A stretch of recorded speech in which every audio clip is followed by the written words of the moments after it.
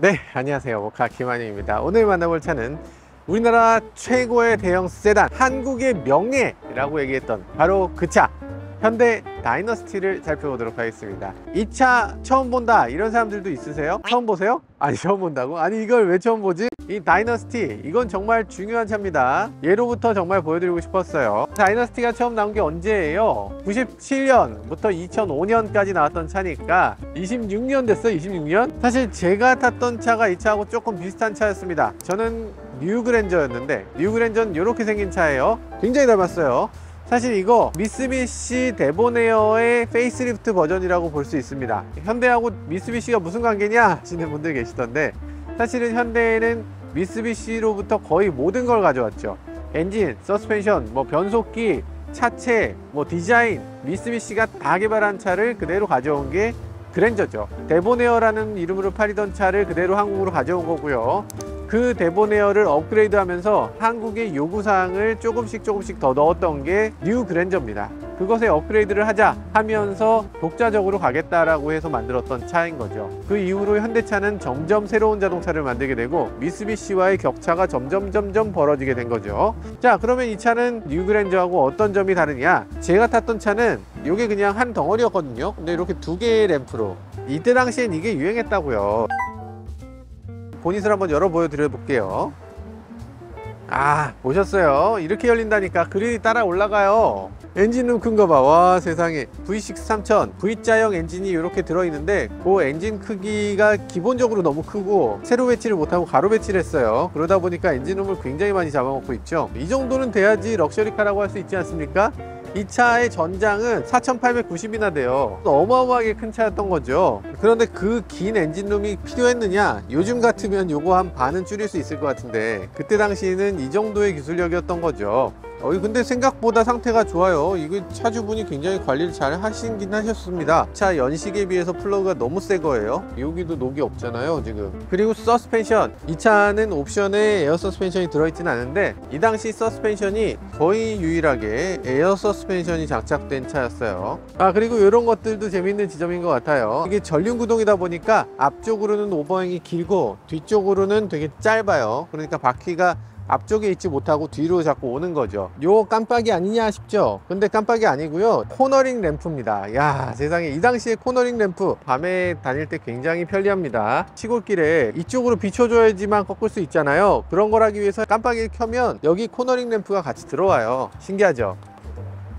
살면서 처음 봤다고? 아니 요즘 차 코너링 램프 있잖아요. 최신 차들 고급 차들은. 그런 것처럼 있는 거예요. 이것도 처음부터 붙어 나왔어요. 차량 도난 방지 시스템. 그때는 뭐 알람 같은 거 자동차에 장착하고 스티커 붙이는 게 유행이었어요. 이런 것들 너무 화려하지 않습니까 이렇게? 그때만 해도 이거 진짜 멋있었는데 이상하네. 다이너스티 D 모양. 이것도 멋있어요. 뒤쪽에 보면 아 이것도 묘한 느낌이에요. 후방 카메라가 여기 붙어 있네요. 원래 순정에는 없었겠죠? 트렁크 어떻게 여는지 혹시 아세요? 이렇게 열쇠로 돌려서 열게 돼 있습니다. 키는 이런 식으로 생겼어요. 리모컨이 달려 있습니다. 어, 락, 언락. 이때 당시는 이걸 다들 꽂아서 돌리니까 트렁크에 있는 짐을 꺼내고 닫고 다들 그냥 가요. 어 근데 이게 감촉은 되게 좋다 어, 고급차의 위용이 느껴집니다. 사실 여기까지 판화도 되잖아요. 근데 오로지 디자인상의 이유로 이렇게 윗부분만 열리게 만들었어요. 이러다 보면 여러 가지 문제가 있는데 이 안에 먼지 같은 게 쌓이게 됩니다. 청소가 안돼짐 꺼낼 때도 되게 불편하고. 아니 왜 이렇게 만들었을까 여기 뚜껑은 거의 대부분 이렇게 떼서 가져가죠 누군가. 왜냐하면 예뻤거든. 이것도 뛰어가는 사람이 그렇게 많았어요. 너무 잘 떨어져요. 뭐 저희 차니까 그냥 띄워도 돼요. S자 떼가면은 서울대 간다 그러고 3 떼가면은 수능 300, 아 학력고사 300점 맞을 수 있다 그래서 어, S랑 3을 그렇게 떼갔죠. 이것도 얼마나 떼갔을 거야 300 오우 오? 편해 시트가 아주 몰랑몰랑합니다. 게다가 놀랍게도 기울어져요. 이야 미치지 않았습니까?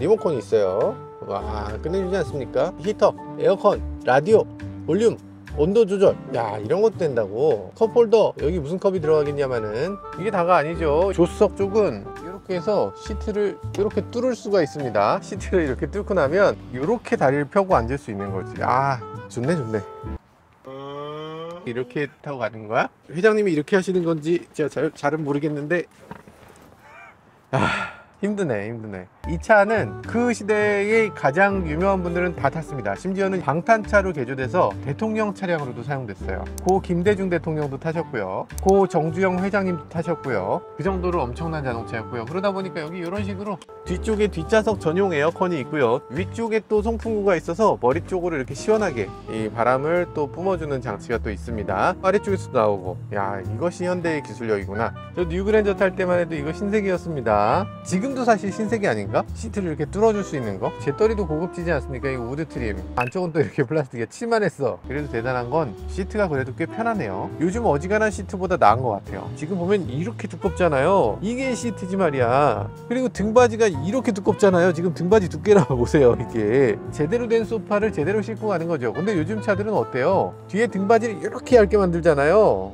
그거 왜 그렇게 좁게 만들어요? legroom을 더 충분히 뽑기 위해서 그렇게 한 거라고 이 차는 레그룸이 동급 다른 차종에 비해서 10mm 더 깁니다. 이 얘기하려고 그걸 줄인다는 건데 10mm가 긴지 짧은지 소비자들은 아무도 몰라요. 이 자동차의 기본이 뭔지를 한번 옛날로 돌아가서 한번 생각해 볼 필요가 있는 것 같아요. 스펙은 모르겠고 고객님께서 이게 더 편하다고 하면 이쪽으로 가는 거야. 이렇게 가면 어떨까? 그런 생각이 듭니다. 이야 세상에. 와 진주 시트. 옛날에 진짜 택시 운전사분들 정말 많이 쓰시던 여러분들이 생각 못한 기능들이 몇 가지가 있습니다. 이런 거죠. 전동 시트. 와 전동 시트가 된다니까? 20년 전에도 전동 시트는 있었어요. 그리고 이런 거. 이렇게 수동 요추 받침대가 이렇게 있어요. 등받이 볼록 튀어나오게 하는 거. 요즘은 전동이죠. 어? 이게 왜 운전하다 누가 열받게 하면 쏘는 건가요? 오 ECS가 있어. 댐퍼를 단단하게 부드럽게 이렇게 할 수 있나 봐요. 어 이건 사이드미러 열선도 있다 시트 열선은 되게 재밌는 게 운전석과 조수석이 동시에 따뜻해져야 돼요. 아니 왜 넌 따로 따뜻해지려고 해? 이런 거죠. 재밌네. 이제 주행을 하면서 이 차의 느낌에 대해서 조금 더 살펴보도록 하죠. 안전벨트가 축축해. 칠순가?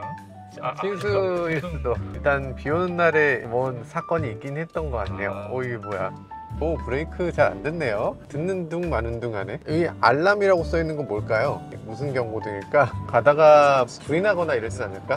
차가 이렇게 무서울 수가 있나 스피더라는 분이 계시잖아요. 항상 헬멧 쓰고서 여러 실험 하시는데 보면서 진짜 부러웠거든 우리도 한번 꼭 해보고 싶다. 이렇게 생각했는데 이렇게 또 폐차가 생기니까 이거 갖고 한번 실험을 해봐야 될 것 같아요. 무슨 실험을 해봐야 될지 몇 개 떠오르긴 하는데 여러분들 댓글로 남겨주시면 그거 한번 해보겠습니다. 이 차가 15만 킬로밖에 안 튀었다고? 이렇게 오래됐는데 차에서 냄새는 안 나요? 담배 냄새거나 이런 냄새들이 보통 있는데 얘는 그냥 낡은 냄새밖에 안 나잖아. 되게 중립적인 냄새 여기가 그 유명한 카스파터들의 고장 아닙니까? 카스파터들이 사진 찍고 그러는데 우리 안 찍나? 우리보다 오래된 차 없잖아 이 안에 어 문도 자동으로 잠겨 옛날에는 이런 장치가 별로 없었어요 그래갖고 택시 운전사 아저씨가 택시 타고 이렇게 가는데 달리다 말고 문이 철크덕 하고 잠기는 거야 그러니까 옆에 가던 여대생 분이 아저씨 왜 이러세요? 이랬어요 도로를 달려보니까 이 차를 타고 가면 사람들이 잘 껴줘요. 이 차가 뭐 되게 고급이라서가 아니라 이런 차를 모는 사람은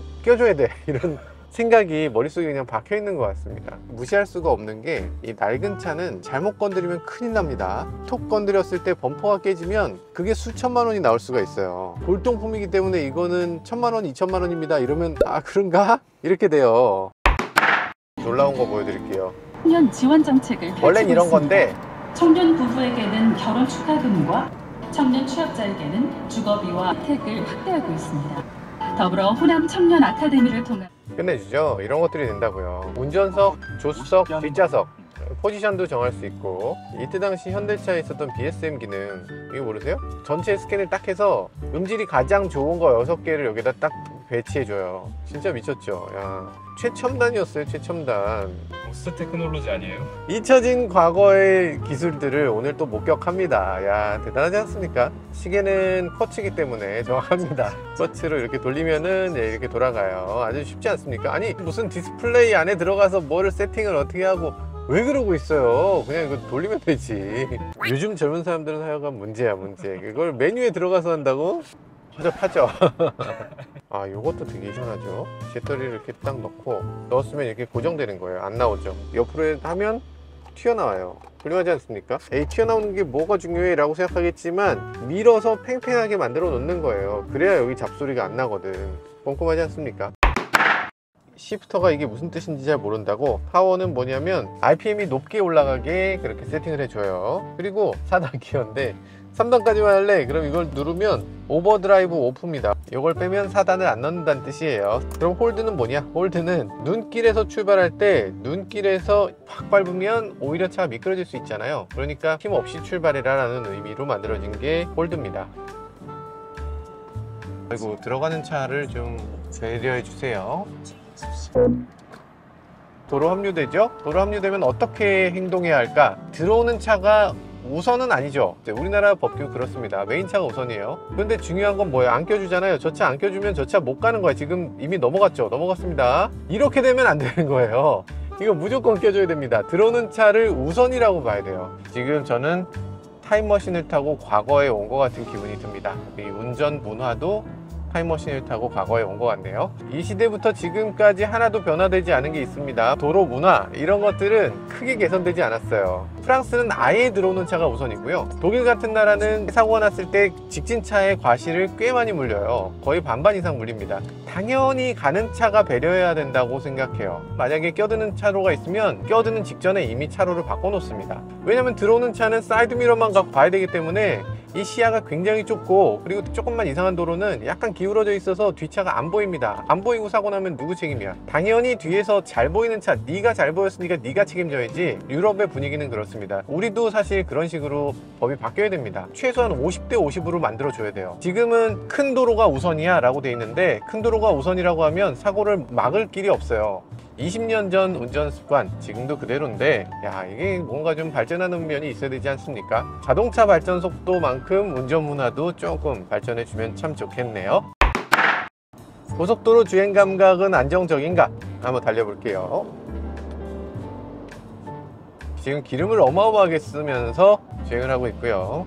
adaptive cruise 없습니다. cruise control도 없네. 그렇지만 하나 중요한 버튼이 있습니다. 크락션 버튼 네 이런 버튼이 있어요 이때 당시만 해도 크락션을 여기다 못 달았죠 에어백을 누르면은 큰일 난다고 생각했어요 그런데 이때 당시 운전자들은 크락션이 옆에 있어서 더 편하다 이러면서 또 좋아했습니다 아, 이 핸들 감각 정말 엉망진창이죠. 이게 핸들을 몇 바퀴 돌려야지 좌회전이 되는 거야. 서스펜션 말도 안 되고요. 아니, 게다가 멀미도 나요. 뭐 이런 차가 다 있지. 야, 이것이 현대였구나. 와, 이 세상에. 이 차에는 정말 의외의 여러 가지 기능들이 있습니다. 뒷좌석에 냉장고 옵션을 넣을 수 있었다고 해요. 에어 서스펜션 옵션도 넣을 수 있었죠. 사이드 에어백 옵션이 있는데 옵션에서 빠졌네요. 요 전까지만 해도 차에는 안테나가 있었어요. 그래서 뒤쪽에 안테나가 쭉 전동으로 올라왔었죠. 근데 이 차부터는 안테나도 없습니다. 유리 안에 안테나를 내장한 최초의 국내 자동차예요. 후기로 계속 가다 보면 점점점 좋아져서 나중에는 내비게이션이 들어왔다고 합니다. 오디오를 떼고 그 자리에 내비게이션 달지 않았을까 싶은데 내비게이션이 밑에 있는 자동차를 가끔 타보면 좀 황당합니다. 운전하다 말고 밑을 봐야 돼. 이때 당시 현대차 엔진 사운드가 유별나게 느껴지죠 전기 모터 같은 소리가 나요 아니 이거는 지금 V6인데 V6의 그 느낌이 뭔가 나야 되지 않나? 근데 현대는 이상하게 잉 하는 소리를 냅니다. 그때 당시는 사실 뭐 현대차 엔진이라기보단 미쓰비시 엔진이었죠. 4단 변속기는 지금 뭐 밟았을 때 제대로 나가는 것 같지 않은 느낌이지만 그래도 엔진은 되게 쌩쌩합니다. 지금 현역으로 내놔도 큰 손색이 없는 좋은 엔진이에요. 이 차를 지금 보면 굉장히 웃기지만 생각해보면 이 차가 없었다면 현대가 그냥 미쓰비시를 계속 수입해서 파는 거기에 머물렀다면 세계 3위 현대차. 요즘의 현대차는 없었겠죠. 그렇기 때문에 이 다이너스티라는 자동차는 정말 중요한 자동차라는 생각이 들어요 네 이렇게 다이너스티를 간단하게 시승해 봤는데요. 사실 여러분들 중요한 건 뭐 이 차의 시승기가 아니겠죠. 여러분들이 뭐 살 수 있는 것도 아니잖아요. 그래서 다이너스티를 어떻게 할까 폐차해야죠. 폐차해야 되는데 폐차하기 전에 해볼 수 있는 건 다 해봐야죠. 뭐 예를 들면 유리창을 한번 깨본다. 차에서 탈출해 본다. 네 이런 것들 해보고요. 여러분들이 댓글로 남겨주시는 거 직접 한번 해보도록 할게요. 여러분들의 참여가 필요한 것 같습니다. 네 지금까지 저는 모카 김한용이었습니다. 감사합니다